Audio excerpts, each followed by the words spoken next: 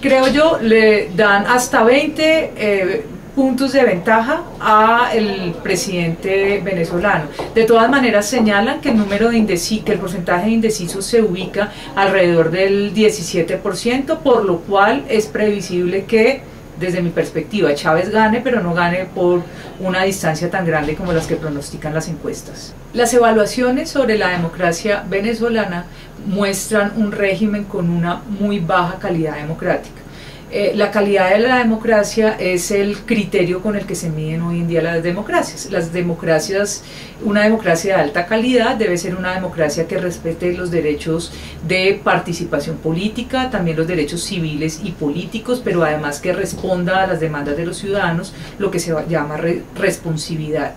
Venezuela aparece con una evaluación de 2.4 sobre una escala que va de 1 a 10, es el, el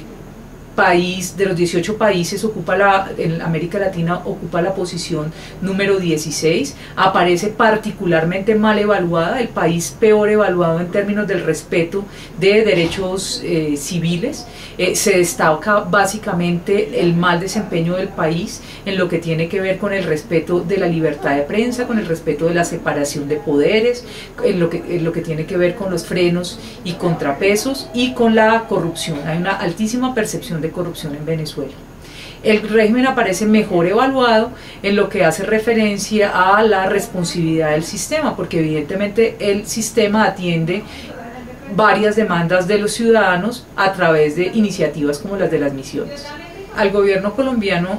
debiera eh, tenerle sin cuidado cuál de los dos candidatos llega al poder, siempre y cuando sea una democracia, porque los países latinoamericanos tienen un compromiso con la democracia. Si lo miramos desde la perspectiva del proceso de paz y en un marco en el cual se ha logrado un restablecimiento de las relaciones con Venezuela, a Colombia le convendría que se mantuviera el presidente Chávez, que participa como mediador en el proceso de paz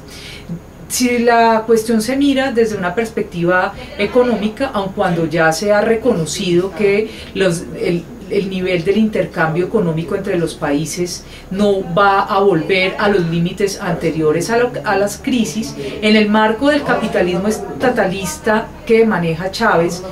hay mayor inseguridad económica que lo que habría con un candidato como Capriles.